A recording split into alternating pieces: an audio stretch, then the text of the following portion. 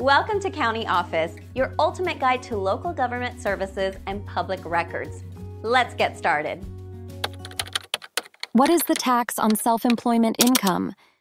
And self employment tax is a tax consisting of Social Security and Medicare taxes.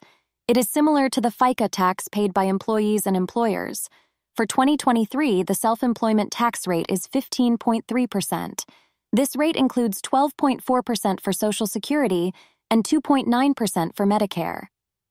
If your net earnings from self employment exceed $400, you must file a tax return. You can calculate your net earnings by subtracting business expenses from your gross income.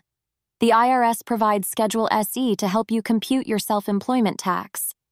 DN half of the self employment tax can be deducted when calculating your adjusted gross income.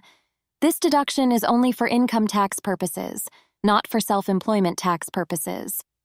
NN, in addition to self employment tax, you may need to make estimated tax payments. These payments cover your income tax and self employment tax. The IRS requires estimated tax payments if you expect to owe $1,000 or more in taxes. NNY, you can use Form 1040 ES to figure and pay your estimated taxes.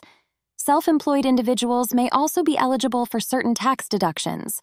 These can include home office expenses, health insurance premiums, and retirement plan contributions. Understanding self employment tax is crucial for managing your finances effectively. Staying informed about tax obligations helps avoid penalties and ensures compliance with IRS rules.